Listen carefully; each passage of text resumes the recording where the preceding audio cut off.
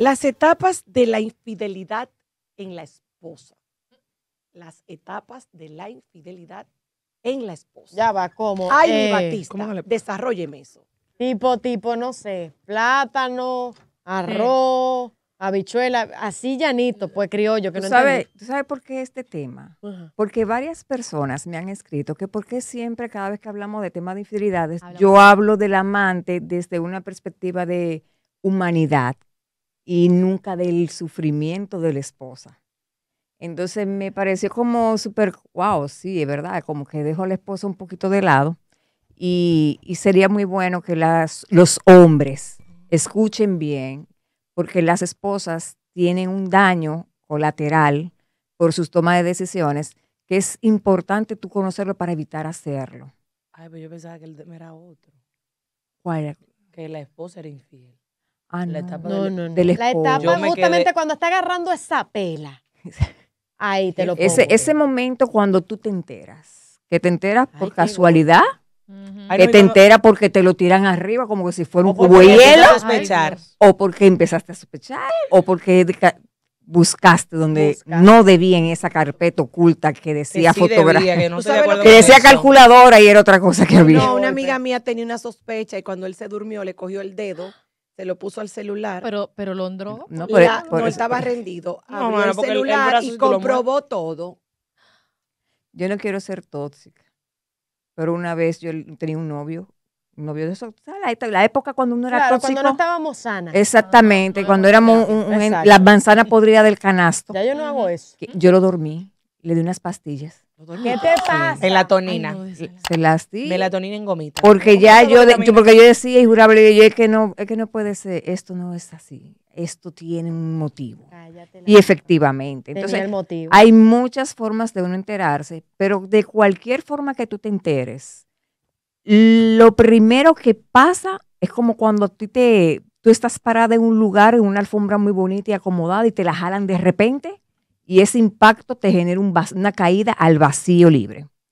Es un shock que te puede generar una crisis incluso hasta de ansiedad, Hay que Sí. tener una ahí mismo un ataque de pánico, no, pero no un show la Son como botella. etapas de duelo, pero de otra manera. Exactamente. Es un duelo, Es- ey, es eh, un duelo. Es sí, una pero pérdida. es una pérdida Digo, porque tú- es, tú- es que tú pierdes la toda la confianza. Ah, construcción. confianza. Pero tú pierdes toda la construcción de todos tus ideales y, tu, y tus con- y tu confianza a esa, perso- a esa persona. Entonces, cuando tú llegas a esa etapa de shock, tú entras entre una confusión, una negación y una indignación. Pero todo empieza con, ¿qué es esto? ¿Esto es verdad? ¿Esto no puede ser cierto? Yo tengo que comprobar. Yo tengo que comprobarlo. A mí hay que Claro, mandar, a mí hay que mandar No, yo evidencia. a La voy a llamar. No, no, no, yo, yo- la amiga, una íntima amiga mía fue a la casa de la tipa a ver el carro de él porque tenía que comprobarlo. porque la ansiedad la llevó a eso. Porque ella no tenía que comprobarlo realmente, ella ya sabía. Sí, pero uno, tú Sí, sabes, pero uno lo son- quiere A ver. veces los hombres son un poco habladores y uno Un dice, poco, no. Ok, pero- para que tú sigas desarrollando el tema, pero para que usted entienda lo que pasa a una mujer enamorada con cierto tipo de hombre, porque no son todos, por supuesto que no. Esta amiga, muy amiga de mi amiga, lo viví muy de cerca. Ella estaba, eh, ellos, vi- ellos vivían en un vecindario, ¿verdad? En Argentina. Exacto. Y le, Bárbara y te le ayuda. dijeron, fulano está en la casa número tal con fulana. Del mismo vecindario. Ajá. Tratando de cambiar un poco el Calle escenario. 4, No calle quiero 9. decir que era un hotel, pero bueno, anyway. Ella, Era un lugar donde ella estaban. llegó, lo vio con la tipa. El tipo saltó, se fue corriendo por atrás y llegó primero que ella a la casa. Y le dijo que si ella se estaba volviendo loca, que ese no era él. Nah. Y ella lo vio. Ay, yo, ¿ustedes han visto ese Esa video fue la primera Instagram? de seis esposas que lleva él. ¿Qué hizo ella en esa situación? Ella tenía algunos 20 años, probablemente recién casada, o sea, con muy poco tiempo de casada, era muy joven, pero ella se confundió por un momento y duró un tiempito más, hasta que ya obviamente claro. vio que era una conducta repetitiva. Ahí es que viene el problema. Pero la confundió, señores, la confundió. que- Ella a mí me llegó a decir, pero cuidado, pero es que se le, Eso es ese un es, ese es uno de las infidelidades que al final no tienen reparación. no, no, no. Porque Más- cuando el individuo empieza a tergiversar la información y a culparte a ti y a hacerte sentir como que tú eres una desequilibrada, al nosotros ser más emocional y tener tanta fe y confianza en esa persona por tanto tiempo, ella. tú dudas de ti misma y de lo que tú viste. O sea, tú crees como, bueno, a lo mejor no era él. Sí, pero si no era él, ¿por qué salió corriendo? Ya empezando por ahí, No, no, ¿verdad? yo te digo, hay amor, casos yo de por sospecha. El nivel de shock es tan alto que genera esa confusión. Y cualquier mentira bien estructurada Te hace dudar o, de ti mismo. o in- o Claro. incisiva, porque a veces no se cree bien ella tenía 20 estructurada. años. También era porque ella tenía 20 años, era su primer matrimonio y estaba recién casada. Pero no, pero déjame 40 decir que te, divorcio no le pasa. no, te puede pasar hasta los 50, déjame decirte. Yo quisiera Dios que libre. pongamos con punto y aparte, o sea, ¿cuáles son esa etapa? Primera etapa, Estado de shock, shock. negación. Esa es la Es segunda. mentira. Ajá. Segunda Es etapa, Es mentira, no es negación. Luego, se parece. luego, dolor, frustración, Tercera etapa. No que no lo hizo. inseguridad, desconfianza. Será porque no lo hago bien. Pero esa desconfianza no es primeramente a la pareja, Es a ella misma. es a ella misma. Por eso La dije, no inseguridad lo hago bien. La inseguridad resuelvo, tuve Que- buscar a otra porque yo no lo complazco. eh, es esa parte de que yo no tengo suficiente, ya cuando tú empiezas a buscar la razón del por qué. Porque entonces ahí tú empiezas a buscar un culpable y empiezas a cuestionarte y afecta tu autoestima y empiezas entonces a compararte. ¿Qué Claro, hice, qué no hice, qué tengo, qué no tengo? ¿Por qué me cambió por otra mujer? ¿Qué, ¿Qué fue? ella ¿Qué que no- fue? ¿Qué Ay, fue? ¿Cómo está esa canción, Candyman? ¿Qué puede tener ella que no tenga yo? ¿Qué puede tener ella? Dímelo.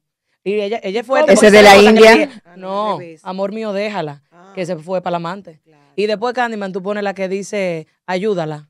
No le lleve la contraria. Pero si tú te es- estás- No, yo, no, espérate, no, no, tenemos, no, no. Ay, qué Si ella fuerte, se no está me que- lo hagan. Si ella se está quejando de Gabriela de la Oca, aquí lo que va a hablar en inglés, ella va a hablar en música. pues. Ajá. no. Ah, Lo que pasa es que la no. música es una forma Ella, de es- ella está mencionando canciones y ya yo quiero que yo nos vayamos a beber para ¡Qué poder golpe! analizar las canciones. Mira, y son dos canciones, espérame, Ajá. porque son dos canciones de dos etapas en, en una infidelidad. La primera, Candyman, tú la tienes ahí, la canción, aparecerá. La que dice, ¿qué puede tener ella que no tenga que la- yo? Michelle Es de la India. De la inseguridad. Porque ella dice, ¿qué puede darte ella? Dímelo. Y ella le dice incluso, oye, déjala, vente conmigo, porque lo que ella te puede hacer, yo también lo puedo hacer y te lo puedo dar. Eso oye, es qué momento. Es, es rogándole que vuelva y Dando ayúdala, que es de Maritrini. Es una canción de aceptación a un nivel que tú decidiste estar con ella. Ayúdala. No le lleve la contraria. Pon su pie sobre la tierra sin que ella se dé cuenta. Trátala bien. Ámala como no me amaste a mí Amor y quédate con ¿Cómo ella. que dice? Amor mío de... No, señora, están confundiéndome las.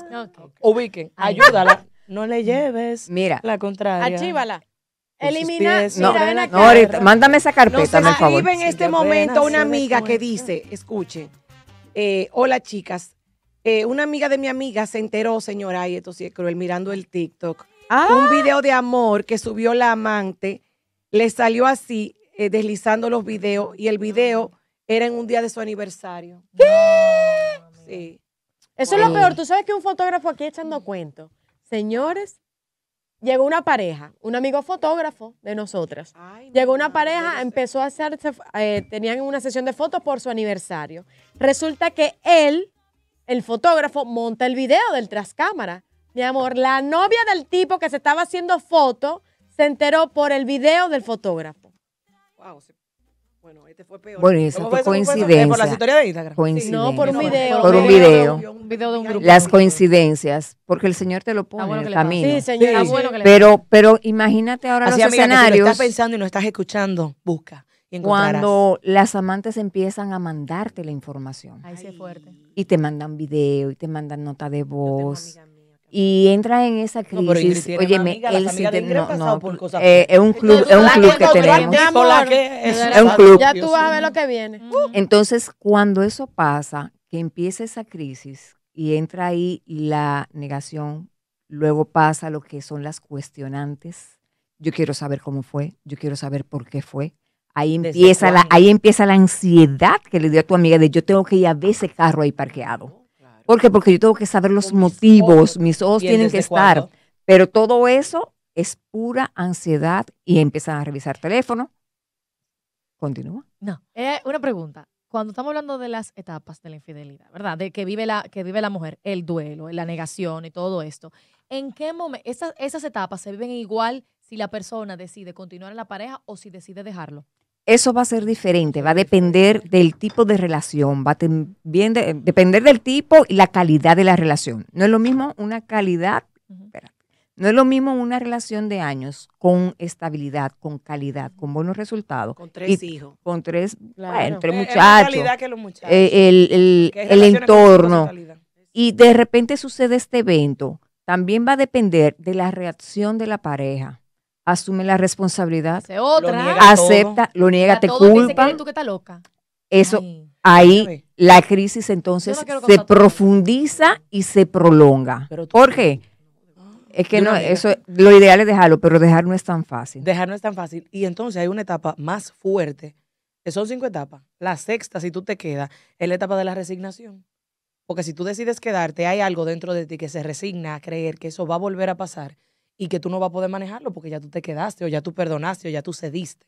Y es No lo más si probable Ahí- O sea, nuevo, eh, ¿eh? psicológicamente no, no sé cómo sería, pero La etapa, no le, no le diría resignación, sino es la etapa de la aceptación de que pasó. O sea, ok, tuvimos este problema, está esta situación, cuáles son las nuevas reglas y normas que vamos a tener, cuál es el nivel de confianza, cuál es la ayuda que vamos a buscar.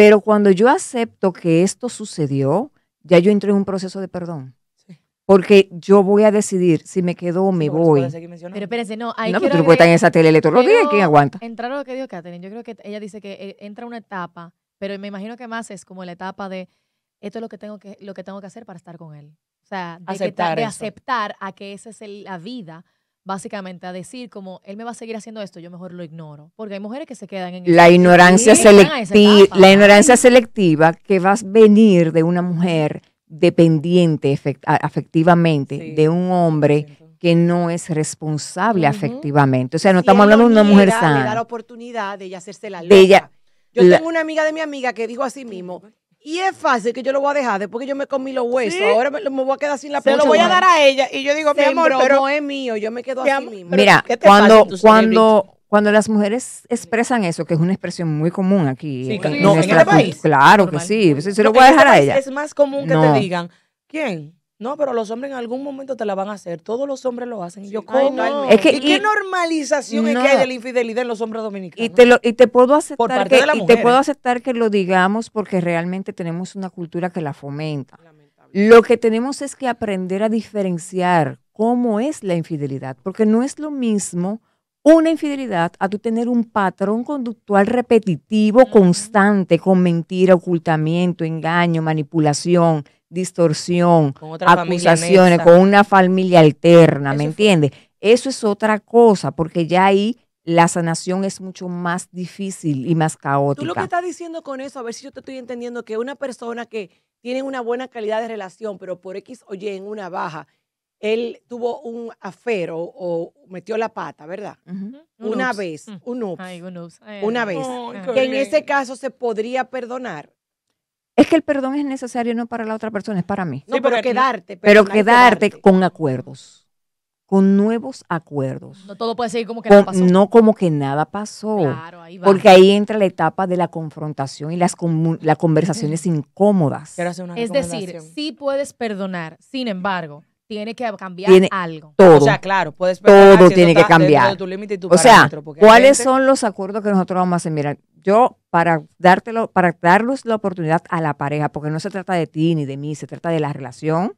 Bueno, yo quiero que busquemos más de Dios, yo quiero que vayamos a terapia, yo quiero que hagamos una consejería, yo quiero que hagamos un plan de crear nuevas historias entre nosotros para recuperar el tiempo, porque a lo mejor yo sienta una responsabilidad de que me descuidé, me, me descuidé de atenderte, me desentendí, me enfoqué tanto en mi trabajo que, que no conecté, la- que me llegó la menopausia y no, no busqué la atención adecuada La para la también. sexualidad, porque el hombre es muy emocionalmente sexual. Entonces, Yo todo eso. trabajarme porque, dame un momento, tú ves cómo te quilla a ti ese tema de, de las mujeres que Que son, liberales. Ajá. Me quilla a mí ese tema de la infidelidad. Ah. De que los hombres son entes Ah, sexuales. no, aquí. Y que No, pues tú tienes que trabajarte Ah, tú tienes que. Porque no hemos juntado un grupo aquí Ya. que tenemos temas fuertes con eso. Pero es que no puede ser. Que lo vayamos a ups. hablar.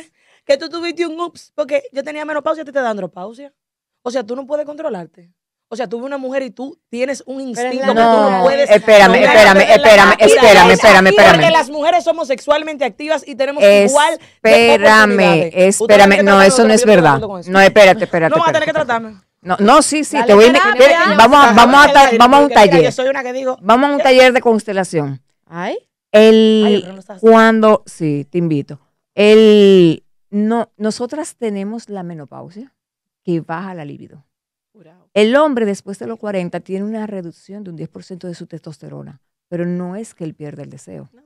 Y un 10% de los hombres no pierde ese por ciento. Y por eso tuve hombres de 60 y 70 años que están más vivos que uno de muchachito. 15. ¿me entiendes? Pero nosotras realmente tenemos ciertas condiciones que nos desentendemos de la sexualidad y la ponemos en Y un tercer real, Y lugar. entonces, y entonces ¿Me ahora entiendes? vamos a poner el ejemplo de esas personas que tienen 50, 60 años de matrimonio y que nunca fueron infieles y tuvieron la baja, la mujer tuvo la menopausia y él tuvo el no sé qué de la testosterona y no hizo nada. El compromiso y el honor. ¿Me Es que hay otros, Entonces, no, es que tiene que ver con límite. principios, tiene que ver con valores, Claro. porque de hecho una de las de las de las aire. columnas vertebral para tú poder sanar es tú trabajar tus valores personales para tú poder tener el proceso Porque de entonces está bien sanación. que yo diga que, que eso es algo que para mí no es negociable. No es, es que si no es negociable, no es negociable para ti. Y desde que pase tú lo vas a Voy a hacer votar. una recomendación para todas las mujeres al borde. Hay un escritor Paloma, que se la llama... recomendación que nadie me pidió. Ah, sí, que nadie me pidió, pero la voy a dar. Hay un escritor que se llama Walter Rizzo. Si no le gusta leer, Ay, él, tiene, sí. él tiene en YouTube un video que se llama Te quiero, pero no te necesito. Hay una canción que también lo dice, lo voy a compartir en mi Instagram, Catherine Núñez. Ustedes saben que yo voy mezclando y voy uniendo, eh, atando cabos. Vitrola. Pero eso que él dice es tan importante. Emma, con una pareja de la universidad me pasó que, eh, voy a contar esta breve historia, él, yo estaba en una discoteca con mis amigos del colegio, en la universidad yo tenía tal vez un año o dos, entonces todavía se juntaban esa gente del colegio, y él me dice, ¿tú quieres que yo vaya? Y yo, no, yo no necesito que tú vengas, porque nosotros tenemos un tiempo de calidad de pareja diferente. Y yo ahora estoy compartiendo con un reguero de gente que tú vas en el aire, porque estamos hablando de temas de lo que hizo fulanito, de fulanito de casó, de no Claro. sé qué, no sé cuánto. Y él se sintió tan mal porque yo no lo quise incluir que yo dije, espérate, aquí hay cierto tipo de dependencia porque era la pareja de que todos los planes tuyos también. Digo yo, ¿y qué tú crees si hoy comemos pizza? Ay, sí, yo estaba loco por pizza. Y digo el otro día, vamos hoy para tal sitio. Ay, yo estaba loco por... Nunca había, no era que yo quería confrontaciones, pero yo quería una persona como propia- con su propia opinión. Y cuando yo vi, oye, con esa actitud, yo el otro día dije, mana, ven acá, esto no es normal, ¿verdad? Que, que él quiera estar en todo. Y entonces era como que todo mi círculo de amigos eran sus amigos. Y yo dije, espérate. Él no tiene su propia Entonces, vida. Qué absorbente. Te quiero, te quiero, pero no te necesito. Es lo más lindo que yo creo que desde la sanidad se le puede decir a una persona. O sea, yo elijo estar contigo, yo quiero estar contigo, pero si, si las cosas no se dan, si algo pasa que uno de los dos no puede aceptar, porque todo el mundo tiene límites y parámetros, oye, yo voy a seguir bien. Aini siempre ha dicho, el amar Eso es una, mujer decisión. empoderada, mi amor. Es una decisión. Amar es una decisión. Totalmente. claro. Dejar también. Pero amar es una decisión y un matrimonio es una construcción diaria. Ay, mi amor, yo a veces me Hay, siento boca hay Ay, situaciones y hay situaciones que hay que construir y hay Claro, momentos que hay que aprender a perdonar y ser bondadoso y comprensivo. Sí, sí, eso sí. Hay infidelidades, señores, que a veces se dan y no son intencionalmente, no son compulsivas, no son deliberadas. La mujer, la esposa, lo va a sufrir, pero si tiene un esposo solidario, honesto, que crea un acuerdo de transparencia, de honestidad, Que se muestra de empatía, arrepentimiento. Porque total, no, no empiezan a hacer estos, eh, a sacar estos tiempos de calidad para recuperar el- el tiempo perdido, empiezan a hablar con honestidad, de responder las preguntas que la mujer, porque la mujer empieza a tener una, una avalancha de preguntas constante. Y él le dice, no vamos a hablar del tema. Ya el tema lo hablamos, Ya, no lo vamos a hablar. si entra en- cuando un hombre no te entra en negación y te- está dispuesto a hablar del tema abiertamente, es un hombre que está arrepentido. Si es, si es, es un hombre que te respeta tus espacios, o sea, porque hay un espacio en el, el trayecto de la sanación que puede variar de tiempo según la, la personalidad y según la dinámica de la pareja, en que tú vas a estar de lo feliz a lo, a lo enojada, de lo, normal a lo triste. Y te vas a pasar en esa avalancha que fácilmente tú puedes caer cualquier día y tú ves que él dice, qué lindo está el sol, y tú dices, eso tú le decías a la otra.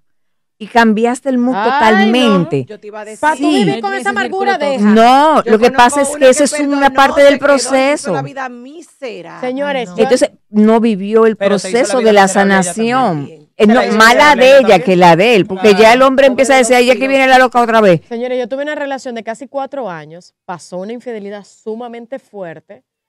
Literal, él me lo dice. Eh, O sea, él se sienta a decírtelo pensando que él No, no, siendo no, pero no, transparente. no fue cualquier No, no, no tipo de, de- de- de Es infidelidad. que tenía que decirlo obligado. Obligado, Children. muchacho y todo. Había un niño, había, Ah, había, había souvenir. Sí, señor. Y ese Yes, esa yes, muchacha girl. recién nacida, a mí, yo, yo recuerdo que yo no supe, yo no supe, o sea, qué hacer, ¿sabes? Y más cuando yo estaba en una relación sumamente enamorada, o sea, una locura.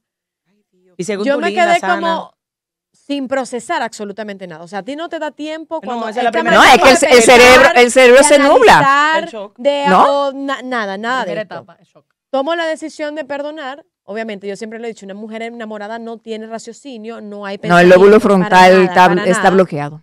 Pero luego de ese tiempo, que prácticamente fue como un año que, que duró, eh, luego de, señores, o sea, era una zozobra. Llegaba un mensaje, así sea del asistente, del escolta, del chofer, de lo que sea, y para mí ese corazón era como se me iba a salir, hasta que un día dije, no, esto no es vida no para es mí. vida. Lamentablemente, cuando pasan este tipo de cosas, son decisiones, pero una decisión tan madura y tan fuerte, señores, que tú tienes que creer nuevamente en esa persona como que es el primer día.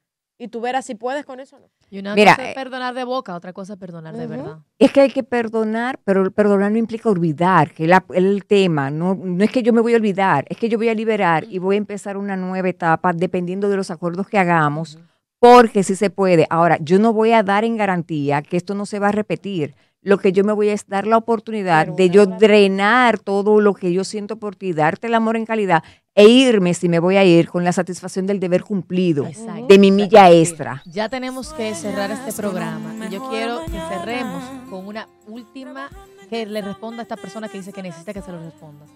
Cuando te enteras de la infidelidad y no te provoca nada, eso.